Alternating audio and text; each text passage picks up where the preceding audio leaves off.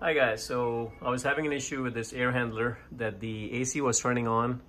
The outside uh, unit was working just fine and uh, the inside one wasn't really working. So I opened it up and I noticed that the fan was blowing very, very slow. So here's the fan that I opened up and it was literally just running like this, you know, this, this is speed, you know, very, very slow. And I was like, you know, something does not seem right.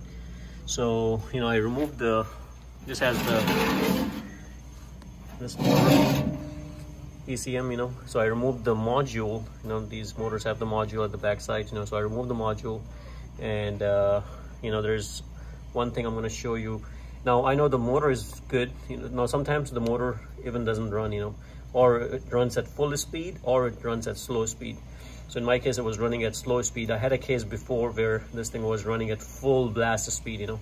So that was also caused by the bad module, you know. But uh, in this one, I'm just it's just constantly running at a slow speed. So I know my module is bad. And I'll show you um, a device in the, in the module. It's a thermistor that normally goes bad. So we're going to be replacing that. And I'm to put everything back on and show you guys that it works fine, hopefully. So let's go ahead and uh, replace the thermistor. Okay, so this is the module that I removed from the unit and this is uh, these are the capacitors and this black thing is the thermistor and what happens is sometimes this thing go bad you know um, sometimes it's very obvious that they are bulgy and stuff like that but anyways you can replace these the replacement you can pick it up from Amazon or uh, eBay you know but they come in a pair sometimes you know they come in multiple cases but anyways uh, just make sure the specs match you know so you may want to find out, you know, this is SL22 and uh, you just kind of match it with what you have on there. So when you're ordering it, just make sure. Um, and uh, there's a way to test them. And the way you do it is uh, you put it on ohms and uh, you take your multimeter. So you definitely need a multimeter which can read um, ohms reading and uh, you know you connect one side of it and then you connect the other side and let's see what we get.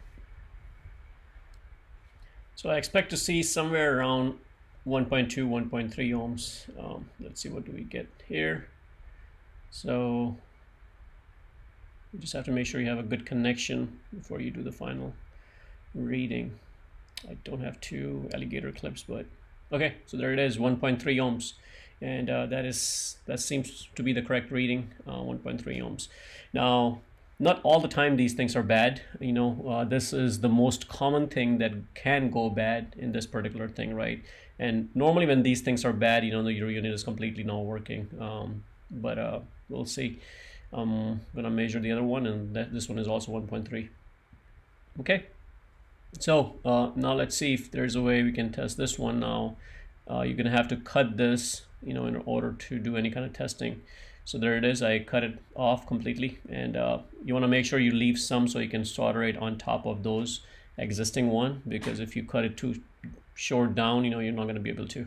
So this way now I can go ahead and um, solder it right there and then and uh, not to worry about any other issues. So um, you know now it's just a matter of soldering the thermistor on top. You just need a soldering gun.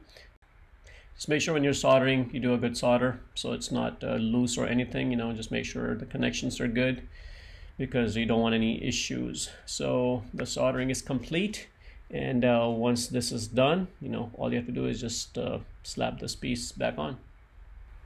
And the installation is very easy. You just put it in there just slot it just uh, put it back in and screw it back on and uh, connect everything back to the air handler and everything should be good just make sure to connect the wire and uh, you should be good to go.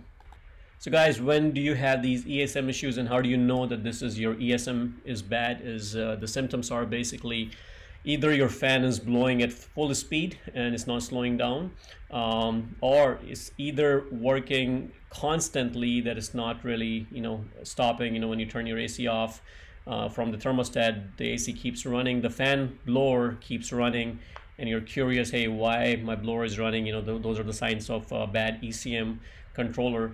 Um, also, the, another sign is this fan is sometimes working very slow, so you know it's not pushing enough air out. You know, so you're causing um, icing uh, and stuff like that. You know, on your air handler. Uh, that could be also a symptom uh, or it's completely not working you know. So the fan is completely not working you're getting icing on your system and you know and you come out there you open it up and your fan is not working at all or it's working very slow. So those are the sign of a bad ECM uh, you can fix it you know if it's completely not working it most likely is your thermistor on that thing you can replace it and get it moving um, you know in some cases uh, the thermistor trick not normally works so you have to replace the ECM so guys hopefully you like the video. If you like it please subscribe to my channel. And like the video. Thank you